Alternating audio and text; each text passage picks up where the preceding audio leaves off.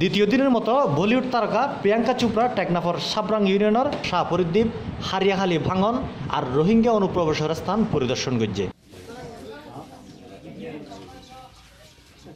যেটা ফসি, তারে মিয়ানমার তুন রোহিঙ্গল খন এলাকা দিয়ে ঢুকিয়ে ইয়ান দেখা নয়।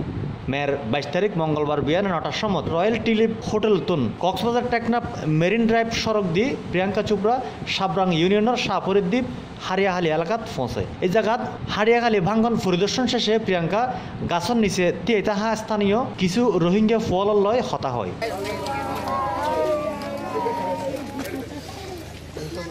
এই সময় নিরাপত্তার হরাহরি দেহি বিরক্ত হয় প্রিয়াঙ্কা চোপড়া নিরাপত্তা সময় বেলাই অনুরোধ করে পুলিশের প্রতি তারপর এতুন গাড়িত গড়ি নটা পঞ্চান্ন মিনিটের ইকে টেকনাফর নেটং ফার উদ্দেশ্যে রওনা হয়। এরপর লেদা বিজিবি চৌকির হাসে ইউনিসেফ পরিচালিত গ্রুপর লয় খেলাধুলার লয় তৈরি করা একখান স্থান পরিদর্শন করে পরে প্রিয়াঙ্কা চোপড়ার লয় ইউনিসেফের গাড়িবহর উখিয়ার বালুখালীত স্থাপিত অস্থায়ী রোহিঙ্গা শিবিরের ইকে রওনা হয়।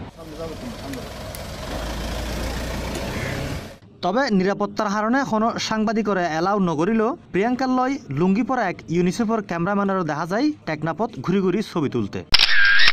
আর আজিও প্রিয়াঙ্কা চোপড়া গত হালিয়ার মতো মাথাত হসুদ দি বিভিন্ন রোহিঙ্গা শিবির পরিদর্শন করে।